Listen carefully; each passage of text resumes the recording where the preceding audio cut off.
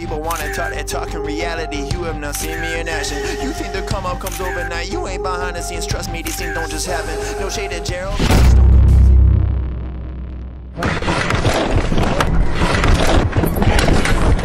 Hey, you try to cut out a piece of my pie, and I ask you politely, what's it that you offer me? Yeah. I produce all my own beats, and I have no intention of losing my In publishing. everybody cycles in the Netherlands, from small children to the Prime Minister.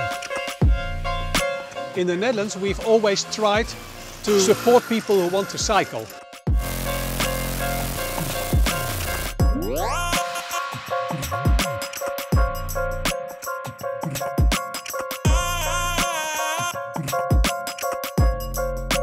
First of all, we have good infrastructure for cycling. Safe cycle tracks, nice places to park.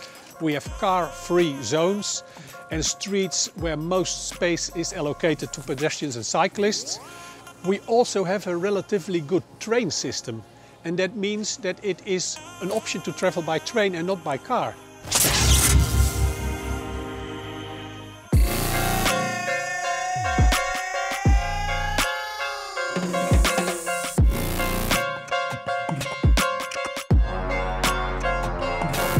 And also because there is fewer cars, there is less noise, there is less air pollution.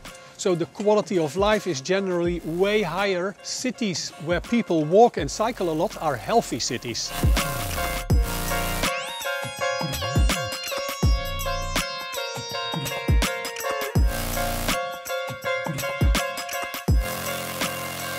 I like to do research that helps improve society.